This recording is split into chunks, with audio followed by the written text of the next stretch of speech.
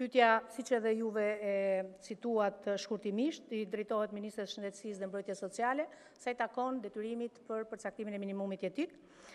Nga të dhënat e Bankës Botërore, 30.8% e popullsisë në Shqipëri jetojnë nën nivelin e varfërisë, çka do të thotë me më pak se 5 dollarë në ditë. Sipas po këtij studimi, Shqipëria ka nivelin më të lartë të varfërisë në rajon.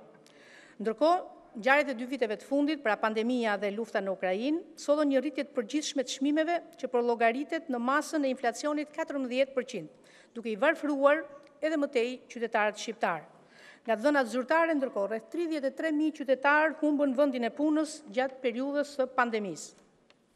Sipas Agjencisë Kombëtare të Punësimit, numri i të papunëve të regjistruar në zyrat e punës u rrit me shtatëmbëdhjetë për qind. Tregues tjetër i varfërisë dhe i papunësisë është edhe rritja e numrit të të larguarve në emigracion.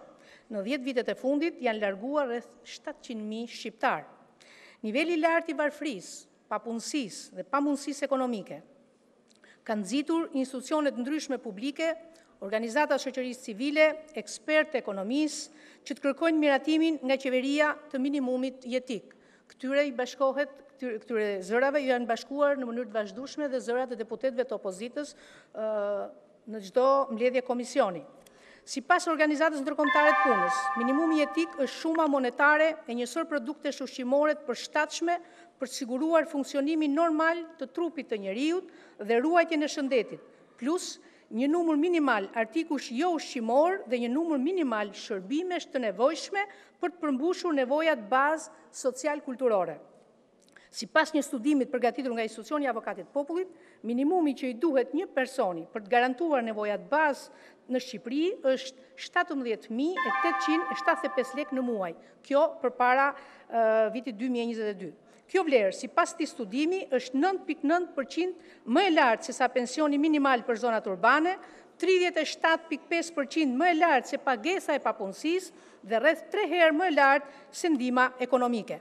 Megjithatë, me gjithë të dhënat e mësipërme, deri më sot Shqipëria vazhdon të mos ketë një akt ligjor apo nënligjor të miratuar që përcakton minimumin jetik, e për rrjedhojë edhe detyrimin e shtetit shqiptar që t'i garantojë çdo qytetari një pagesë të barabartë me minimumin jetik për të siguruar plotësimin e nevojave të tij bazë. Në këto kushte, vlerësoj se kjo është një çështje që meriton të marrë vëmendjen e Kuvendit dhe në bazuar dhe në rregulloren e Kuvendit, kërkoj që Ministria e Shëndetësisë dhe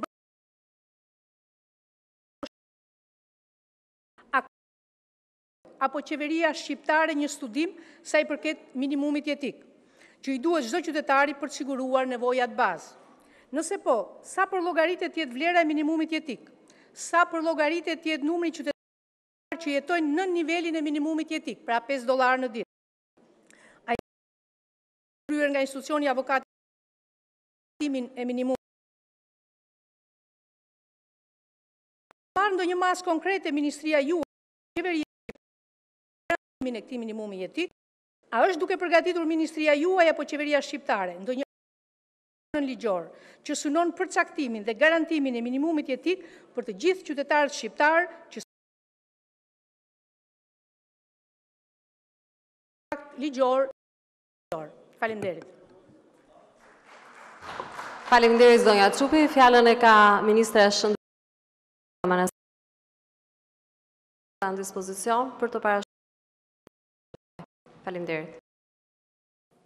Faleminderit, e nderuar drejtuese e seancës. Sot jemi në vigjilje të një dite të shënuar për gjithë ne, për gjithë shqiptarët. Shqipëria do të mikpresë denjësisht për herë të parë samitin e Bashkimit Evropian me vendet e Ballkanit Perëndimor. Një ngjarje historike për të gjithë shqiptarët që duhet të na bëjë krenarë, që rikonfirmon edhe një herë perspektivën tonë europiane dhe që shërben patjetër në forcimin e partneritetit strategjik me të gjitha vendet. Dua që të falenderoj kolegen Çupi për sjelljen në vëmendje të nëpërmjet pyetjeve të saj, të disa çështjeve me rëndësi që kanë lidhje me mbështetjen e grupeve dhe kategorive më në nevojë, dhe për të më dhënë mundësi në fakt për të shpjeguar politikat mbështetëse dhe programet sociale për familjet dhe individët në nevojë. Pa dashur të futem në detaje të termave, të definicioneve, përcaktimi zyrtar i minimumit jetik është një term volatil që merr përkufizime dhe aplikime të ndryshme në vende të ndryshme, përfshirë këtu një numër të madh vendesh që nuk e kanë një përcaktim zyrtar apo statistik mbi këtë indikator. Metodologjia dhe çdo lloj definicioni i përdorur nga institucione të cilat mund të kryejnë studime apo vëzhgime, por që nuk e kanë në fushën e ekspertizës dhe kompetencës së tyre për caktimin e këtij indikatori, patjetër që ne na bëjnë të gjithë të vëmendshëm dhe na shërbejnë për adresimin e sfidave të tilla. Por nga ana tjetër janë institucionet, ato organizma të akredituar, të cilët kanë për detyrë dhe përgjegjësi nxjerrjen e të dhënave dhe statistikave në lidhje me të ardhurat, në lidhje me shpenzimet dhe standardin e jetesës dhe ky institucion është Instati. Shqipëria për herë të parë në vitin 2017 nisi një realizim të përvitshëm të anketës së matjes së të ardhurave dhe nivelit të jetesës, ndryshe e njohur SILK. Në përputhje me përkufizimet e Eurostatit dhe ndryshe nga më parë, pra kur statistikat ishin sporadike, jashtë çdo standardi e për pasojë edhe të pakrahasueshme në nivel ndërkombëtar. Sipas të dhënave të EU-SILK 2020 të botuar Rezulton se, shpërndarja e përfitimit të ndihmës ekonomike, e dy pikë pesë për qind nga kuintili i parë dhe i dytë, apo nga dy grupet e para të popullatës së vlerësuar, ndërkohë që sipas studimit të Bankës Botërore, skema e vjetër e ndihmës ekonomike arrinte të mbulonte përpara reformës që ne ndërmorëm vetëm njëzet e dy për qind të familjeve të varfra.